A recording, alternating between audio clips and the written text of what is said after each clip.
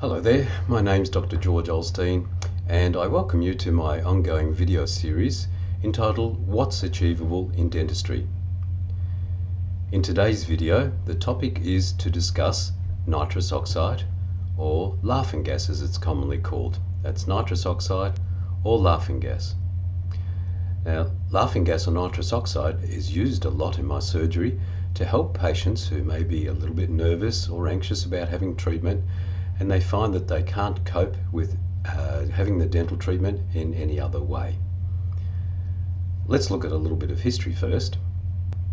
Nitrous oxide was first discovered as a gas in 1772 and it was then first used by a United States dentist named Horace Wells who used it as a general anesthetic in fact in 1884. So you can see it's been around for a long long time and it's developed as a sedation or what we call a conscious sedation for dental patients who are phobic as I said before. We can use it for adults and also for children. And what happens is that you breathe through the nose mask and after a few minutes the gas starts to take effect and you start to feel a little bit different and a bit more relaxed. I often give the analogy of uh, patients that it feels a bit like if you've had a little bit too much to drink and you feel a little bit tipsy and your cares and worries tend to dissipate. And so it is with laughing gas. You tend to not worry about it and you're totally awake and in control in some degrees as well. Now, laughing gas is useful for a lot, a lot of people, but not everyone.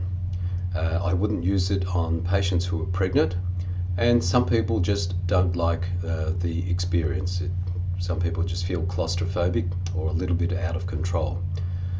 One thing I do tell my patients is that if it's too much for you, you can actually breathe the gas off by breathing out through the mouth and you tend to lower the concentration or they can tell me and I vary the concentration accordingly. Nitrous oxide doesn't go through any biotransformation. What that means is that when you breathe it in, it goes in as nitrous oxide, and when you breathe it out, it comes out as nitrous oxide. So it doesn't get metabolized within the body. And the nice thing is, once uh, our dental treatment is finished, you are then breathing pure oxygen for a few minutes, and you're free to go without any recovery required.